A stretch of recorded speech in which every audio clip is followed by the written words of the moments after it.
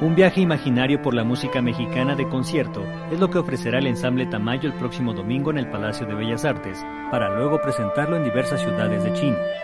El cuarteto integrado por Mikita Kloskov, Rodrigo Garibay, Carlos Almerón y Gregorio Daniels se alista para la gira que realizará en octubre próximo en China, donde además de dar conciertos, impartirá clases magistrales.